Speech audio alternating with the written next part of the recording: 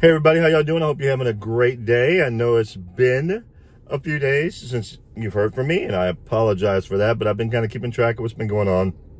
And unfortunately, most of it has been fairly negative. However, in the midst of all that, I do want to say that I am thankful. My mood today is thankful, and for a series of reasons which I'll go over. First and foremost, in Texas, uh, May 1st, we opened up, started the whole slow reopening of the state which I'm thankful for. I've noticed that traffic is gotten back to normal, which means it's bad, which is actually good because that means there's more people on the road, more people getting their lives back to normal. I always, always enjoy that.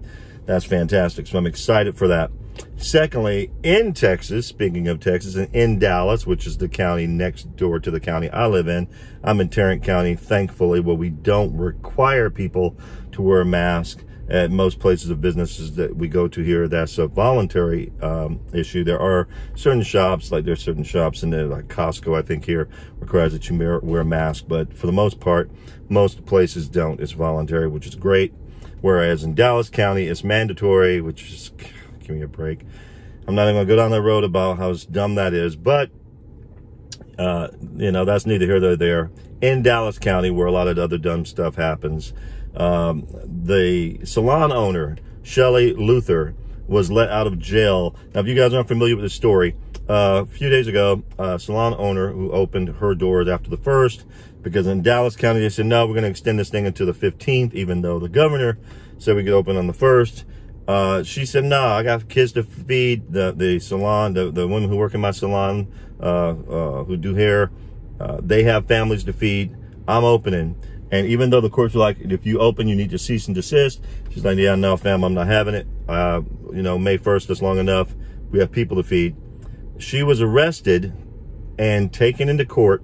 And a Dallas judge who really believes in the power of the state over the individual put her in jail and was going to have her jailed for seven days seven days for opening her business. Meanwhile, in that same county in Dallas, they are letting out criminals because of COVID-19 early from jail.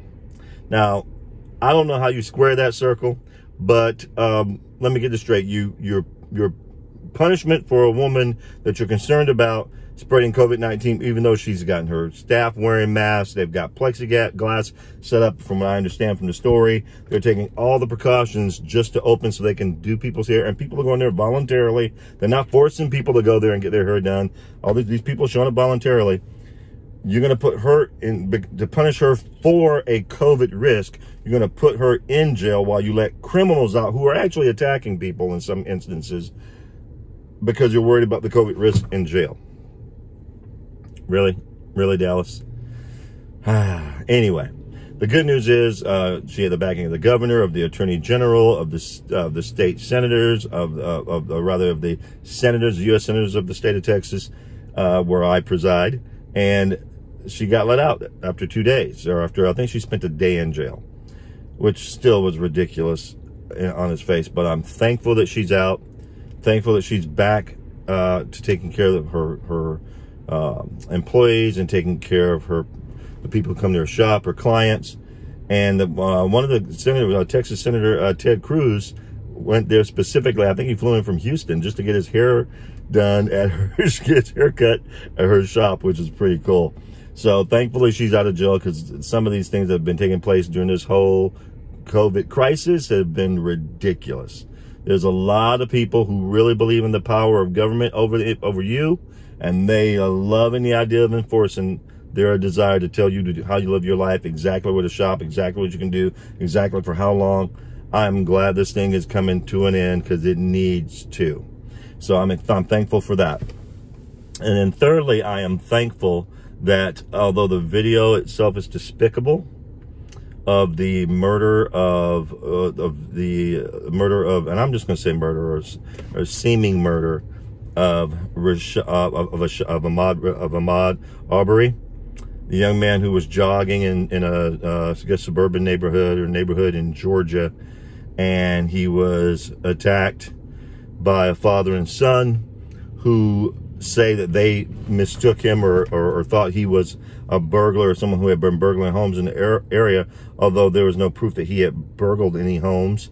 Uh, the one home, the father, even in the 911 call, uh, says that he was in was uh, it was in, under construction, so it was completely open. He probably went and take a look at it. I've done that. I've gone to places where I've seen really nice neighborhoods that I like. You know, I love a nice neighborhood, but other neighborhoods I've been to that are nicer or, or I like just as much or more. And if they got a house under construction, the house is open, I'll go check it out. I'm like, man, let me see what this house is like. Because you never know, it could give you ideas on what you like in a future place well, when you want to move or kind of ideas for what you like your house to look like. And so I'm real big on that. So I completely understand that. I've done that. It's, it's kind of called, it's called, we call it kind of dream building and going in there and checking stuff on, say, man, this is really cool. Or I like this, or I like that, or I like what they're doing the construction. He might have just been in the construction and jogging. Who knows? But he, I mean, he wasn't doing anything illegal necessarily. I mean, at most, maybe trespassing, but the house was under construction and it was completely open. So they, at any rate, they kind of chase this guy down. He's jogging, minding his own business on the side of the road. They come after him, this, the father, son, in a truck with rifles and pistols. Um, he tries to jog around them because they're following him. He tries to jog around them. They cut him off. And then he gets in, and then the father gets out with a rifle trying to stop him. And he gets into a fight with the father and I understand he's probably thinking, oh my gosh, I got to fight for my life. These guys are crazy. So then the son, who's in the back of the pickup truck with another rifle, shoots and kills him. And this happened back in February. But thankfully, the video came out because another person was with him who took the video. And thankfully, the video, the video came out, and as I understand it, the video was leaked. It was not released. It was leaked. Because initially, the DA was nothing to see here, because it, it, turns out the father is former law enforcement. And I'm a big believer in back in the blue, but you got to back what's right. I don't like this whole, uh, well, let's pat him on the back because he used to be one of us deal. I'm not into that, especially when you do something wrong that you shouldn't be doing. I'm just not down with that. So luckily and thankful the video came out. The video shows that the video does not match the police report, the police description, what they described happened at the scene, the father and the son. The video doesn't necessarily match that. And so now the father and the son have been arrested. Now, mind you, it's been 10 weeks since this happened. But still thankful they've been arrested. I'm hoping there's some justice for Ahmaud Arbery. I'm really thankful this happened. The thing I'm not thankful for is how the celebrity culture is real big on coming out and saying, and I hate when this kind of thing happens because the first thing that happens, especially with amongst the, you know, the ultra woke and celebrity types, is they kind of, and the, and the wanna be down celebrity types, uh, they come out, see, see, white people, that's, they're always after us, blah, blah, blah, blah. And even, I don't like, I wanna like LeBron James. I just cannot stand him when it comes to him wearing his politics on his sleeve. He's, he's you know, you've heard of guilty white liberals. He is a guilty black liberal. He, he made it out, and for some reason, he still he feels he got to be down. So for whatever reason, there's he, he gets involved in all these things of which he knows very little about. The worst type of person to be is someone who knows a little bit or not very much about or seems to think they know a lot about a lot of stuff when the truth is you don't know that much about a lot of stuff. That's the worst kind of person to be. And, he comes out and says, they are literally being hunted down as we leave our homes. What happened to Ahmaud Arbery was disgusting and terrible. And those guys need to go to jail and if possible, the death penalty. I'm all about all that. But really, LeBron, you live in LA. You live in a gated community you have people who protect you and your family with guns. None of the rest of us apparently are supposed to have them, but you have people who protect your family with guns. And you really feel like every time you leave your house, you're being hunted down? Really? I get emotion.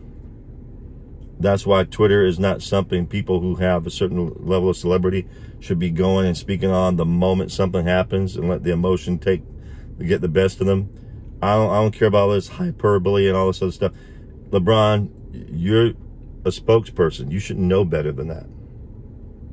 I don't feel like I'm being hunted every time I leave my house, like somebody just outside waiting, somebody white just waiting outside to kill me the moment I leave my house. I don't feel like that. But I do get the premise of the point you're making when it comes to how we have to teach our kids as, as black as black people. And I've had to tell my own sons this because they're they're big guys. They're they're big guys. They're six three, good looking guys, sharp, but big guys. And I've told them just when you're when you're dealing with the police, and this, although it's a former law enforcement law enforcement officer, when you're dealing with police, be remain calm, because you're shooter brother size. And I got that phrase literally from Shannon Sharpe, who I also disagree with when it comes to politics and almost everything. I mean, he's another person who swims in hyperbole and just kisses LeBron's ass every chance he gets. But that phrase is true. That's a true statement. So sometimes you can be, you can be, well, I guess the best way to put it is a, a stop clock is right twice a day. And it's a very apt phrase. That's something we have to teach our kids. Be careful when you're out in public, especially when you're dealing with the police or dealing with law enforcement. You're shooter brother size.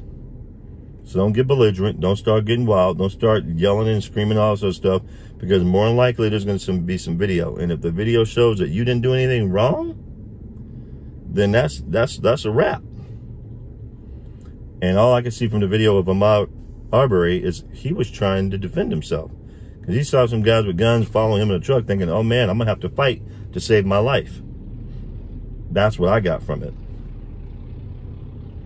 And unfortunately, he got taken out. And I hope those guys, I don't care about them going to jail for life.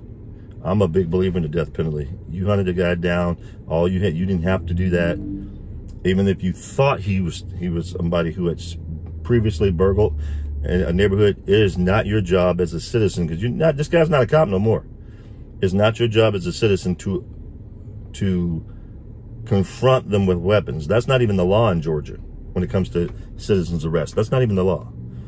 So I'm thankful that this video is out. I'm thankful it got released. I'm or, or, rather, I'm think I'm thankful that it got basically, like I said, it wasn't necessarily released.